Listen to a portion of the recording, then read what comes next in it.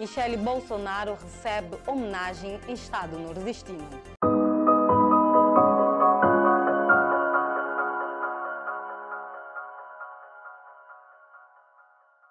Na última quinta-feira foi aprovado por maioria o projeto de resolução número 11/2023, que concede o título de cidadania à ex-primeira-dama Michele Bolsonaro.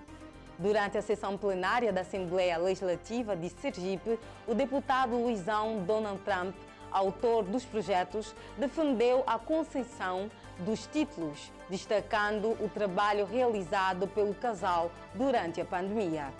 O parlamentar também informou que buscará trazer o ex-presidente e a ex-primeira-dama para visitar a Alès e receber os títulos. Ele ainda destacou a necessidade de garantir que todos possam ter e defender suas opiniões.